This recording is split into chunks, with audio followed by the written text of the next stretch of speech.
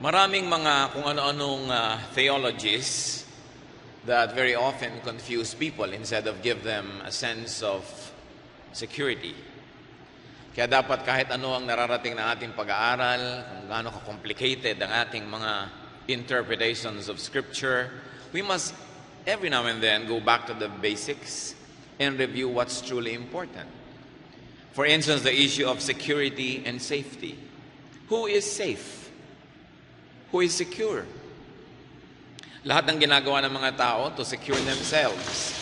People do many things so that they might be able to secure the future of their children, to secure their homes from thieves, to secure their much later years from needs and wants. Ang may mahalagang tanong na ito ay sinagot ng Panginoon, who is really secure? Heavenly Father, thank you for your kindness and goodness. Thank you for your love. Forgive us our sins. We come to you, Father, recognizing our need of you. Kahit anong pagsisikap namin, kami kinakapos. Kaya lumalapit kaming kinikilala ang aming kakulangan, humihingi ng patawad, humihingi ng pagpupuno nyo. Dalangin namin, Panginoon, bumukas ang mata namin sa mga bagay na kuminsan sa, sa kasimplihan, hindi na namin nakikita. Sa paghahanap namin ng mga maraming mga complicated things, we forget that the most important things are the basic ones. Teach us today. Help us to review what's truly important. Lead us. Correct us. Empower us. Heal our spiritual infirmities. Make your blessings known to us. Father, be our speaker. Use your servant only as your humble footstool, but be the speaker. Let your spirit touch all of us empower us. And we bless your name. We glorify you. In the name of Jesus, your Son, our Lord and Savior. Who do we usually call secure? Kumisan makakarinig ka ng mga kamag-anak, uy, yumaman na si ganito, secure na siya. Magaling ang mapapangasawa ni ganyan, secure na siya. O kaya marami na siyang savings. People that we usually call secure are those who have great wealth, those who have great health, or great relations. Pero yung maraming mga wealth, tanungin mo rin, marami ring insecurity. Kahit yung mga healthy, marami pa ring insecurity. I have talked to a very, very beautiful woman once who was insecure about a certain part of her anatomy. Well, she was already a celebrated beauty. Wala namang tao na kung susukatin niya yung sarili niya sa lahat ng paano kata ng mundo, masasabi niya, ako secure. But who is really secure according to the Lord? Luke 12, 13 to 21 from the New International Version. Someone in the crowd said to him, Teacher, tell my mother to divide the inheritance with me. Jesus replied, Man who appointed me a judge or an arbiter between you. So ang Panginoon ay nagpapagaling, nagtuturo ng kaligtasan, nagpapalaya sa masasamang espiritu, biglang merong isang lalaki na ang inilalapit sa kanya ay isang very, very earthly issue. Nagkakagalit sila sa mamanahin o minana sa kanilang namatay na magulang. Marahil siya nilamangan ng kanyang kapatid o gusto niyang makalamang. At gusto niya gamitin ang personalidad ni Jesus bilang kilalang guro at manggagamot para ayusin yung hidwaan nila na financial. At sabi ng Panginoon, eh sino naman nagsabi na trabaho ko yan? Na minister, na minister ko to judge between you. Siyempre, kung meron akong papanigan sa inyo, hindi na ako magiging Lord of both of you. Meron na isang lalayuan loob. At saka hindi yan ang dahilan ng pagparito ko. Verse 15, Then he said to them, Watch out. Be on your guard against all kinds of greed. A man's life does not consist in the abundance of his possessions. Sabi, mag-ingat kayo. Huwag kayong papadaya sa lahat ng uri ng kasakiman sapagkat ang security wala sa dinami-rami ng iyong ari-arian na paghahatian, kikitain o maitatago. Napakatamang okasyon yun para ipaalala. Kasi ang Panginoon noon ay nagpapagaling ng may sakit nagpapalaya sa mga inaalihan ng masasamang espiritu at higit sa lahat, nagtuturo ng daan sa buhay na walang hanggan Pagkatapos yung taas ng kanyang turo, gustong ibaba nung isang tao sa crowd na yon sa mga bagay na panandalian lang at sa mga bagay na hindi dapat inuuna. Sabi niya, huwag kayong papadaya sa mga urgencies na yan sapagkat hindi lagi yan ang important. The urgent is not always what is important. Verse 16, para lalo pa niyang palinawin ang kanyang sinasabi, And he told them this parable. Isang parable na alam na alam na nating lahat, ating muling balikan. The ground of a certain rich man produced a good crop. He thought to himself, What shall I do? I have no place to store my crops. Then he said, This is what I'll do. I will tear down my barns and build bigger ones, and there I will store all my grain and my goods. And I'll say to myself, You have plenty of good things laid up for many years. Take life easy, eat, drink, and be merry. But God said to him, You fool. This very night your life will be demanded from you. Then who will get what you have prepared for yourself? This is how it will be with anyone who stores up things for himself, but is not rich toward God. Isang napakalinaw na kwento ang ibinahagi ng Panginoon. Isang taong may mga bukid ang kinasihan ng magandang kapalaran at napakarami niyang inani. At sabi niya, ano kaya ang gagawin ko? Sobrang dami kong inani. Anong dapat sanang naisip niya? Bigyan ko naman ng mga kapatid ko. Mamigay naman ako sa mga mahihirap, sa mga kapuspalad, kasi sobrang dami na nitong inani ko, wala nang pagsidlan. At maaaring inubos niya ang napakarami niyang oras sa pagsasaka, pagpaparami ng kanyang mga halaman, pag-aalaga. Naubos na ang oras niya, wala nang natira sa Diyos. Wala nang natira siguro sa pag-ibig sa kapwa. Kaya nga siya ang ginawang halimbawa eh. Hindi naman masamang maraming anihin ha. Pero nakasama sa kanya. Dahil ngayon dapat na may inani na siya, nagbibigay na siya, magpapahinga na siya, at lalo naman magbigay na siya ng oras sa Diyos, hindi. Magiging busy na naman siya. Sabi niya, sa dinami-rami ng inani ko, anong gagawin ko? Kailangan wasakin ko ngayon ang aking mga kamalig, ang aking mga lalagyan, ang aking mga storehouses. Siyempre, oras na naman ang uubusin nun. At papalakihin ko. So, gawaan na naman ang mga kamalig. Naging problema ang pagdami ng kanyang inani. At pag natapos ko yon, sabi niya, siguro abutin nyo ng ilang araw, ilang linggo, ilang buwan, magkakaroon ako ng oras sa sarili ko. Sasabihin ko ng aba, you are secure. Magpahinga ka na, magpasarap ka sa buhay, uminom at kumain. Pero sabi ng Panginoon, nakarating na nga hanggang dito yung buhay mo na marami ka ng inani. Ayaw mo pa rin siyang bigyan ng oras. Ayaw mo pa rin bigyan ng oras ang Diyos. Ayaw mo pa rin bigyan ng oras ang kapwa.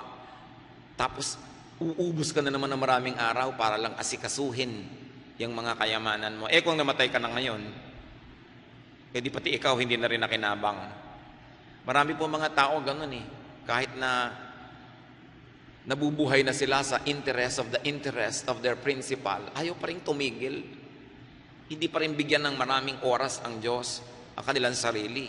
Hindi pa rin makapagpahinga.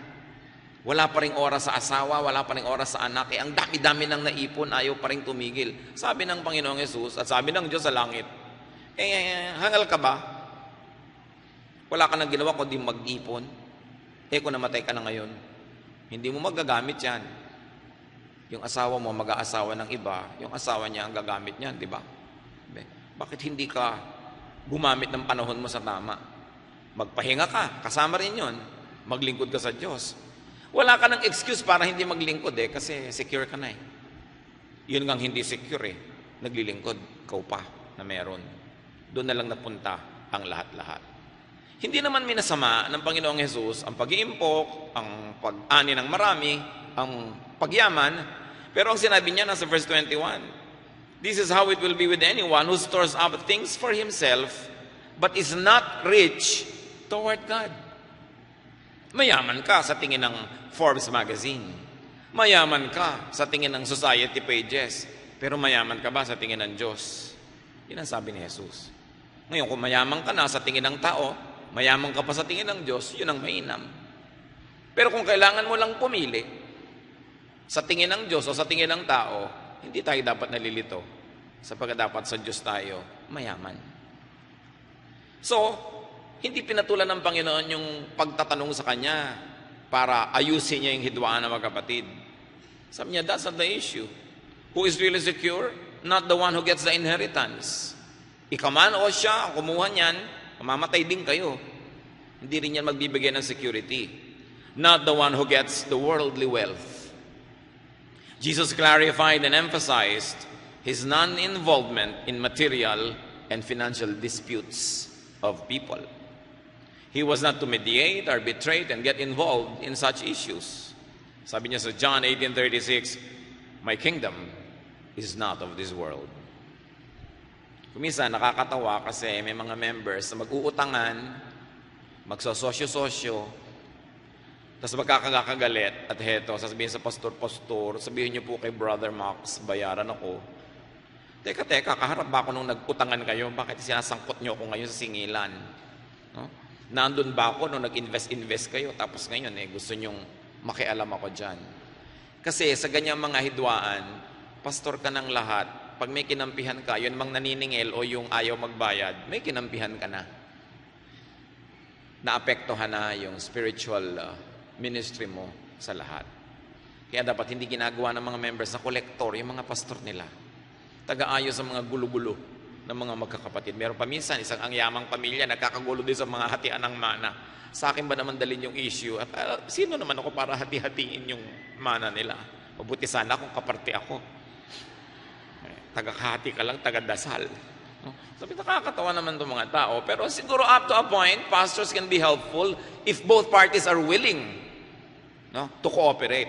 Pero kung yung isa eh, ha, pipilitin mo pa, eh, hindi na kasama yan sa gawain ng mga spiritual leaders. Maybe up to a point. The church can mediate, the leaders can, but only up to a point. When the integrity of the pulpit will not be compromised. Now, who is really secure? Not the one who owns a lot of things, but those who are rich in God's eyes.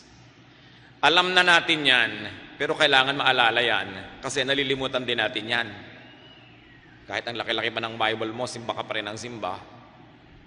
Pagka kinakapos ka na, numinipis na yung savings mo, minsan you feel insecure. Pagka nag-aalala ka ng mga bayarin, you feel insecure. Those who are secure are those who will inherit eternal life. Not those who will inherit worldly wealth. Although it helps a little bit up to a point. But true security is knowing that when you die, you will be with God. Why? Because death is the greatest threat to man. May hihigit pa ba na nananakot kundi kamatayan? Bakit ka natatakot pag nawawala ng brake yung kotse mo? Baka ka mamatay. Kung alam mo lang, babangga ka lang, mauuntog ka lang, hindi ka naman siguro matatakot, pero baka mamatay ka. Bakit ka nagpapa-hospital pag hindi ka na makahinga? Kung alam mo naman na sisikip lang yun, pero tuloy pa rin ang buhay mo, papa-hospital ka pa ba? Ayaw mo mamatay, natatakot ka. Bakit natin ayaw mamatay? Kasi may paghuhukom. Hebrews 9.27 Just as man is destined to die once, and after that to face judgment. Sana mamamatay ka lang, na nung namatay ka, para kang kabuti, namatay ka, patay ka na, fertilizer ka na, period. Pero hindi eh. Mamamatay lang yung katawan mo, yung espiritu mo, haharap ngayon sa Diyos. Paano ka? You will face judgment. Kaya ang tao, religious man o hindi, spiritual man o hindi, takot mamatay. Nakatanim sa kanya ang espiritu ng Diyos, kahit hindi siya relihiyoso, na nakakaalam na haharap siya sa Diyos. Kaya ayaw na ayaw mamatay ng tao. Misa nga, 99 na, ayaw pa rin eh. Talagang gusto pa rin humaba ang buhay. At kumisan, mananampalataya na yan, pero talagang pinipilit pa rin nating mabuhay. Ayaw pa nating mag, to die is gain. Gusto nating mag, to live is Christ. Bakit? Nakakatakot ang death because it is certain. It is sure. It is followed by judgment. What then is real security? It's not having to die and not having to be judged. Kapatid, pag alam mo yan, na di ka mamamatay, di ka mahusgahan, wala kang karapatang ma-insecure. Iwan ka man ng asawa mo, mamatay man ang boyfriend mo, masunog man ang bahay mo, maghirap ka man. Bagamat hindi natin gusto yan, pero wala kang karapatang ma-insecure dahil ligtas ka na sa pinakamalaking threat ng buhay, and that is eternal judgment. John 5:24. I tell you the truth, whoever hears my word and believes him who sent me has eternal life and will not be condemned.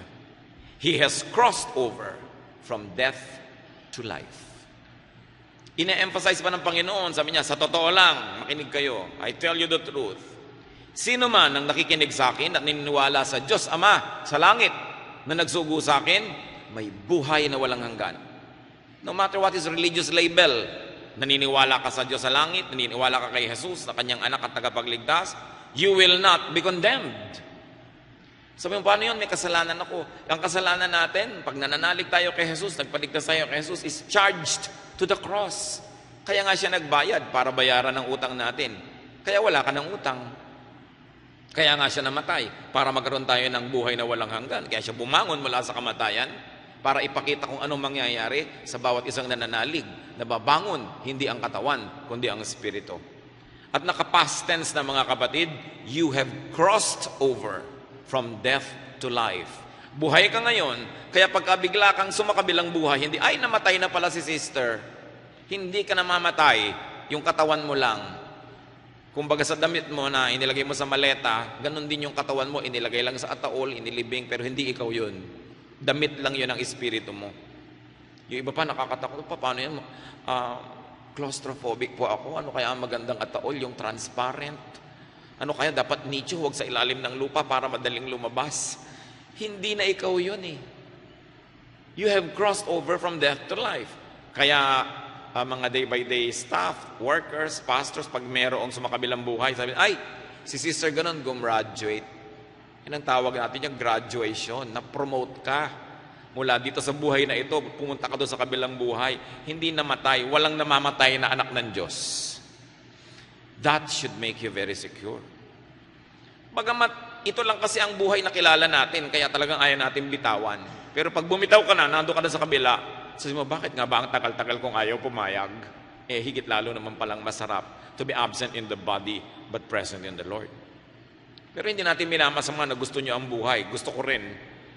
Dahil, isinulat din sa ating puso ng Diyos na mahalin ang buhay kasi siyang nagbigay nito. Pero kung matatapos na, edi tapos. Gumraduate, edi march, graduate. Malulungkot tayo sandali, but let go. Because people of God go back to God. Romans 8.1 Therefore, there is now no condemnation for those who are in Christ Jesus. Wala na. Wala nang uusig sa'yo. Hindi bang isa pang nakakatakot bukod sa mamatay, yung mabisto ka sa mga kasalanan mo? Mahusgahan ka ng kapwa? Makulong ka kaya? O kaya mawala yung favor na tingin sa'yo dahil na-condemn ka? Pero sabi ko na kay Jesus ka na, in the eyes of heaven, there will be no more condemnation. Napakasarap nun na alam na alam mong di ka na uusigin pa. 1 Corinthians 15.55, nasabi tuloy, Where, O death, is your victory? Where, O death, is your sting? Kung ang pinaka nakakatakot na sa buhay ay yung mamatay at hindi na rin yung nakakatakot, ano pa ngayon ang nakaka-insecure na natira? Dapat lahat maliliit na lang, hindi minamalaki. It is true, we feel insecure about some things. We feel insecure about losing loved ones and things. We feel insecure about our finances. Hindi natin aalisin yun dahil tao tayo. Nangyayari yon. Pero hindi dapat malakihin. Hindi dapat patagil, patagalin.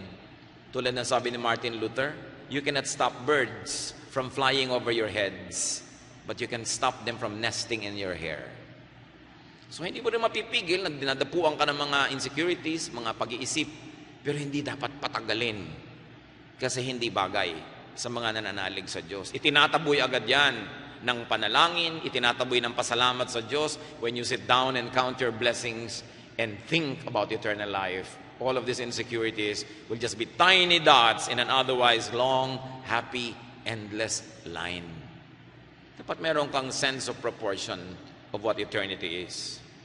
Real wealth, according to Jesus, is what is stored up in heaven. Yun ang tunay. Real wealth is what is to be enjoyed in eternity. Sometimes deposit ka ng deposit sa bangkong fly by night, biglang nagsara, nando lahat ang pera mo, kaya eto ka ngayon, hinahanap mo si Crispin at Basilio. Nagbumili ka ng insurance, ah, kung ano-ano na yung pala tumakbo uli. Eto ngayon, yung pera mo nawala. Pero pag doon ka nagdeposito sa langit, walang takbuhan, walang mawawala, kasi Diyos ang nag-iingat. That's why you feel secure.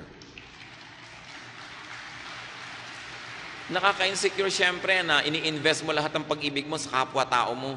Kaya nanay mo yun, o asawa, o anak. Kasi mamamatay yun, mawawala. Minsan iniiwan ka dahil ayaw na sa'yo. Pumisa naman, gustong gusto sa'yo pero namatay. Ano magagawa mo? Kaya pati pag-ibig, Diyos dapat ang unang iniibig, yung number one. Para yung mga number two, number three sa buhay natin na mahal natin, mawala man o dumating, there is a number one that keeps you steady, and that is the love of God. Kaya napakahirap yung tao, ina-idolize mo, inilalagay mo above God. Kaya ang sabi sa Bible, love God above all. Above all. You know why? Because God knows that He will never leave us. He will never depart from us. That's why He wants to be number one in our lives for our own sake so that we will feel secure. But what will happen pag ginawa mong number one tao? Kakabaka-baka. Pagka tumitingin-tingin na sa sex yung asawa mo, eh, tumatahip ng dibdib mo. O kaya yung asawa mong babae nagtatrabaho abroad, eh, biglang dumalang na ng dumalang ang pag-text sa'yo. Kinakabahan ka na. Siyempre, kahit ka naman nasa Panginoon, nenervyosig ka rin. Pero iba yung number one sa'yo, Diyos. Hindi ka sobrang nakaasa sa kapwa mo para ka sumaya.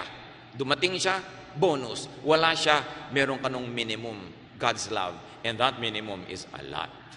That's why yung priority sa Panginoon, dapat at inuulit-ulit natin sa ating sarili yan.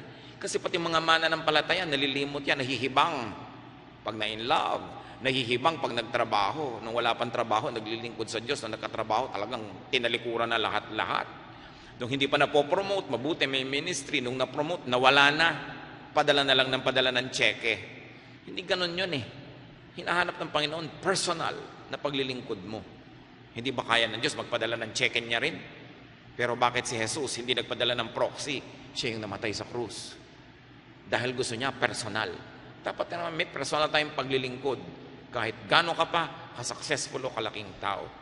Luke 18.22 When Jesus heard this, He said to him, You still lack one thing. Sell everything you have and give to the poor, and you will have treasure in heaven. Then come, follow me. Sino yung kausap niya? Isang rich, young ruler.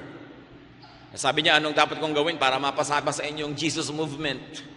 Anong dapat kong gawin para pagharian ako ng Diyos at mapunta ako sa langit? Sabi ng Panginoon, sundin mo lahat ang utos. Alam mo yon. Sinunod ko na pong lahat. Sa inyo, Pwes, isa lang kulang sa'yo. May isa ka pang Diyos eh. Pera. Pamigay mo lahat. Patunayan mo na gusto mong sumunod sa akin. Pag naipamigay mo na, halika, join us. Umalis yung taong yun na malungkot. Kasi ang yaman niya eh. Hindi niya nabitawan yung kayamanan niya. Siguro 30, 40, 50 years later, namatay siya. At kung hindi siya nagbagong loob, na-judge siya. Ano ngayon yung kayamanan niya ngayon? 2,000 plus years na yung lumipas. Habang panahon niyang pagsisisihan yung mali niyang desisyon. Ngayon, hindi naman pinapamigay ng Diyos sa lahat ng mayaman yung kayamanan nila bago sila maging mana ng palataya. Ito lang kasing taong to may particular problem. Mas mahal niya yung pera kaysa sa Diyos. So, hindi siya talaga pwede sumunod. Kaya yun ang ipinapag-give up sa kanya. Kumisa naman, ang ipapag-give up sa'yo, yung kirida mo. Eh kasi yun ang mas mahal mo kaysa asawa mo, kaysa sa Diyos. Kaya yun ang hihingin sa'yo ng Diyos na ibigay mo sa Kanya. Bakit si Isaac hiningi kay Abraham? Siguro sa tagal na nagaantay si Abraham ng kanyang anak sa kanyang tunay na asawa, nung dumating yung anak, maaaring naagaw na nung anak na yun ang pansin ni Abraham. Maring wala nang minahal at pinansin kundi si anak. Kaya sabi ng Diyos, ibigay mo sa akin ang anak mo. Kasi ang Diyos will tolerate no rivals in our lives. Sabi niya, I am a jealous God. Kailangan mo ako mahalin. Kaya pati si Abraham, na patriarch ng ating pananalig, sinubok. At salamat naman, pumasa. Hindi siya nagatubili na patunayan sa Diyos kahit anak niya, ibibigay niya para sundin ng Diyos. Ngayon, kung si kumari lang yung i-give up mo, huwag ka na mag-isip-isip. Hindi na pinag-iisipan yan. Diba? Kung ibibigay mo lang yung oras mo sa Diyos, ibibigay mo lang yung bisyo mo sa Diyos, kailangan pa bang i-memorize yan? Kailangan alam mo kung sino ang Diyos sa buhay mo. So, Jesus wanted, and you see in this teaching, sabi niya, ipamigay mo sa mahihirap. Kasi, ang ministry ng Panginoon, hindi lang para magpagaling na may sakit. Hindi lang para papuntahin ka sa langit. Gusto rin ng Diyos magkaroon ng a better distribution of wealth. Noong panahon niya, tulad din sa panahon natin ngayon, konting tao ang sobrang yaman at maraming tao ang sobrang hirap. Gusto rin yun i-address ng Panginoon. But Jesus did not teach the poor to rebel against the rich, to revolt in a bloody uprising, But Jesus taught the rich to give to the poor. Kaya ganyan na itinuturo niya. Hindi niya sinabi sa mga slaves, lagutin yung tanikalan nyo at labanan yung amo nyo. Hindi niya sinabi yon. Hindi rin sinabi ng mga disciples. Hindi niya sinabi maghimagsik kayo at baguhin ang mundo. Hindi. Gusto nilang baguhin ang mundo sa pagtuturo sa mayayaman, magbigay kayo, mag-share kayo para hindi magkaroon ng madugong pag-aagawan sapagkat sobra-sobra naman ang nasa sa inyo. The church today, the church of Jesus Christ, must do the same.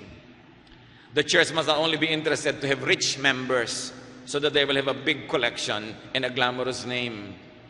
While you love the spirit of the poor and the rich, but the church must teach the rich to give, not only to the church, but to the poor.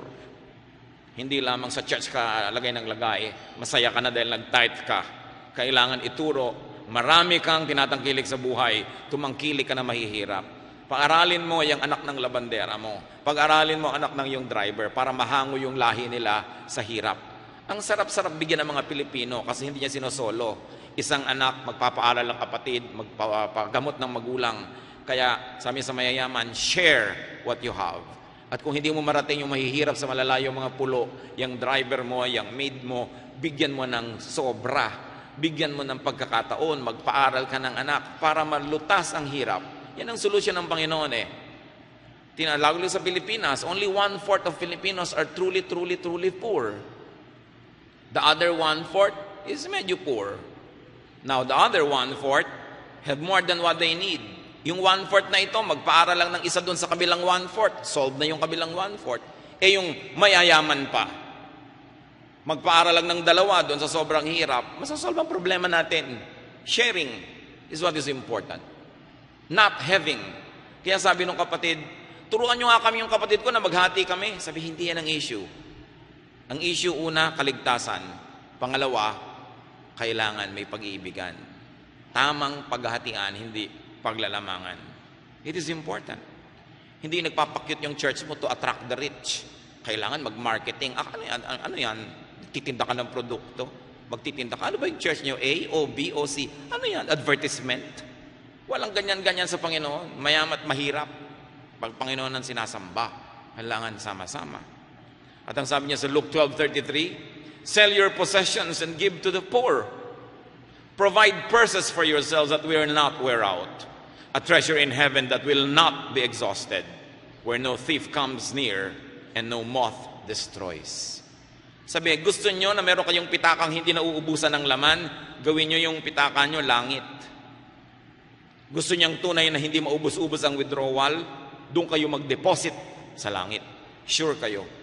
Eternal wealth means savings in heaven. That is security. Hindi yung pang material lamang.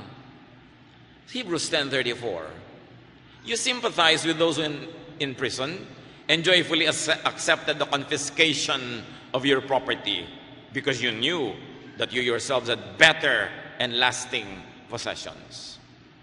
Nung araw po, sa persecution ng mga Kristiyano, lalong pinahirapan ng gobyerno ang mga Kristiyano nung unang panahon.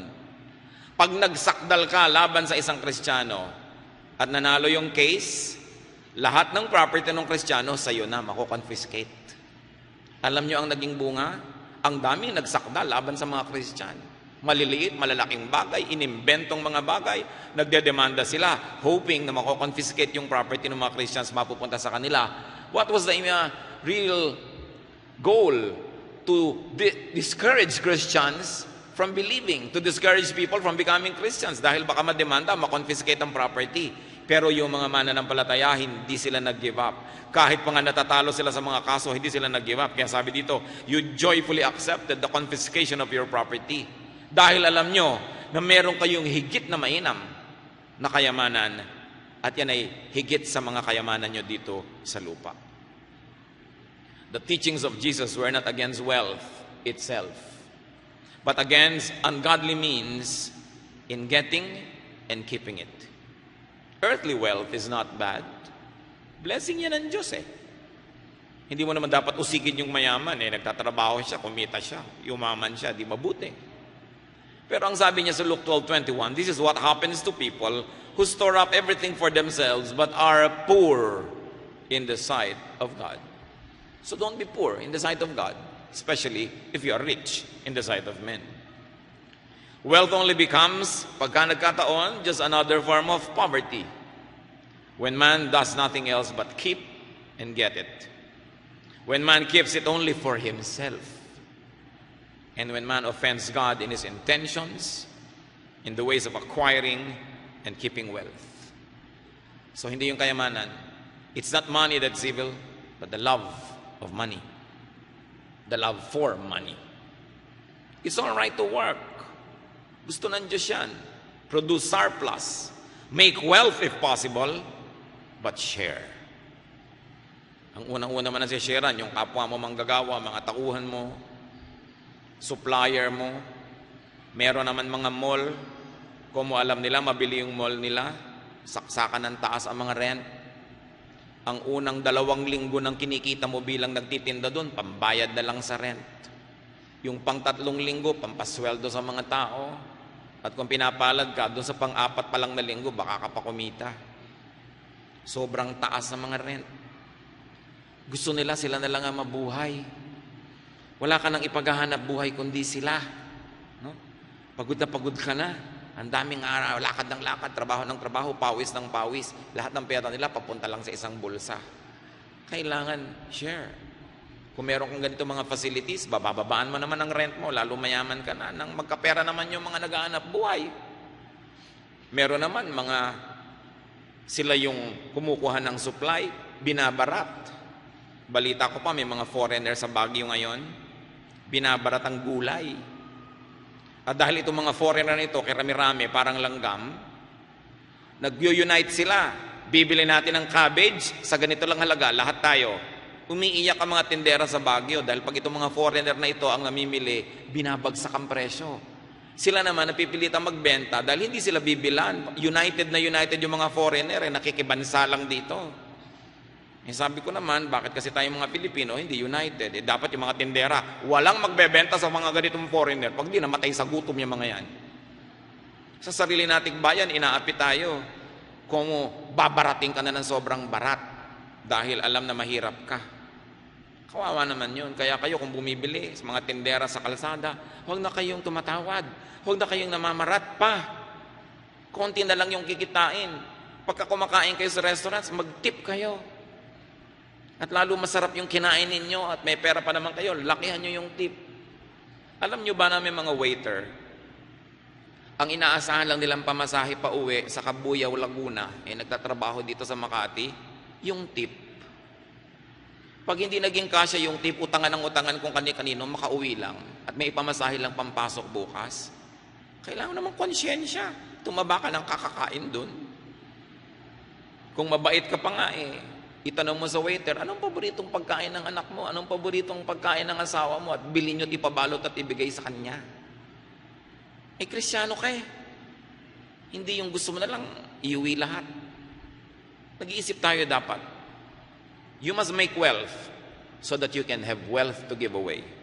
Ephesians 4.28 He who has been stealing must steal no longer, but must work, doing something useful with his own hands, that he may have something to share with those in need. So yung mga dating pabigat, mga linta, nagnanakaw, nangihingi, ng babaka, lumaasa lang sa iba, sabi, Kristiyano ka na, hindi ka na dapat ganyan. At magtrabaho ka, hindi lang ng kasya sa'yo, pasobrahin mo para mabaligtad naman at ikaw makapagbigay ngayon. Napakabait ng Diyos. Napakamaunawain. At yan ang dapat na iniisip ng mga anak ng Diyos. It's all right to enjoy the fruits of your work. Hindi ka dapat mag-guilty. Nagkakaroon ka ng bakasyon abroad dahil nagtatrabaho ka, kumikita ka. Pero huwag mo lang lilimutin na magbigay sa kapwa mo. Ecclesiastes 5.19 Moreover, when God gives any man wealth and possessions and enables him to enjoy them, to accept his lot and be happy in his work. This is a gift of God. Okay lang. Marunong ka lang magbigay. At ba't ka nagbibigay? Kasi secure ka eh. Alam mo naman na pag ikaw nangangailangan, di ka bibiguin ng Diyos. Di ka kakapusin. Kumisan sa pag-iisip natin na may kailangan tayo next month, yung namamatay na ngayon, hindi natin mabigyan ng gamot kasi iniisip natin, next month, budget mo pa yon. Pag dumating yung bukas, nandun pa rin ang Diyos. Kaya sabi ng Panginoon, let the day's own trouble be sufficient for the day tomorrow will have blessings for its own. Kaya sabi, give us this day our daily bread. Bukas meron uli. Bukas meron uli. So, be rich if you have to and if you can. But first of all, be rich in God's eyes. Isaiah 55 8 For my thoughts are not your thoughts, neither are your ways my ways, declares the Lord. So, dapat mayaman tayo sa tingin ng Diyos. Kahit sa tingin ng mundo, hindi. At lalong-lalo, kung sa tingin ng mundo, mayaman na tayo, dapat mayaman lalo tayo sa tingin ng Diyos. You want to be secure? You want to overcome all kinds of insecurities? Think of God. Think of the greatest threat, which is death, which should no longer threaten the believers of God. Think of your exemption from hell, your exemption from burning sulfur and eternal punishment because of the sacrifice of Jesus. And when you think of these things, you will not only be secure, you will be grateful. And when you are grateful, you will do the work of Him who died for us. You will do the work of Christ. That is to share and to love and to trust God completely. Heavenly Father, thank you for your love for us. Salamat dahil kayo ang security namin. Patatawarin mo kami, Panginoon, kung nakakalimot kami. Iniaasa namin sa mga bagay, sa tao, maging sa aming sarili, yung aming seguridad. We are secure because we are in your hands. We are secure about tomorrow because tomorrow is in your hands. And we are secure because we don't have to face judgment if we are in your Son, Jesus. If we have Him as our Savior and as our Lord. Pag ninenervyos kami, Panginoon, pag kinakabahan, pag nagkakaroon mga anxieties, pag nagkakaroon kami ng mga panic attacks, ikaw ang maging sustainer namin. Maalala ka namin at kami makalma, Panginoon. Mapanatag, matahimik. Kung kami nawawalan o nangangambang mawalan ng mga mahal sa buhay, sa iyo kami kumapit. Gawin ka naming number one ng buhay namin. At kung may hinihingi ka sa amin, kayamanan man na dapat ipamigay dahil nagiging Diyos, o mga maling relasyon na dapat putulin dahil ayaw mo, huwag kaming malito. Sumunod kami sa iyo because you are really what we need. You are our security. You are our salvation. Magbulay-bulay tayo mga Panginoon, sa Panginoon mga kapatid, kung ano pa mga personal na kahulugan nito, that we are secure in Jesus, kung anong kahulugan nito sa pang-araw-araw nating buhay. Be with God, be with God alone in silence.